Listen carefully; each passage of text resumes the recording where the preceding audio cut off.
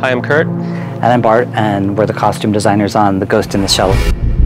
I think the overall style started with Rupert, who's super visual. I think for actors, it's such a big part of what they're doing. You know, they always say when they step into the wardrobe, it finally kind of they become a character.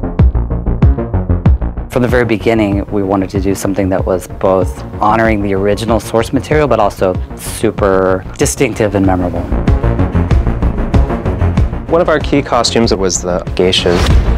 We wanted them to feel traditional, but we also wanted to kind of use untraditional materials.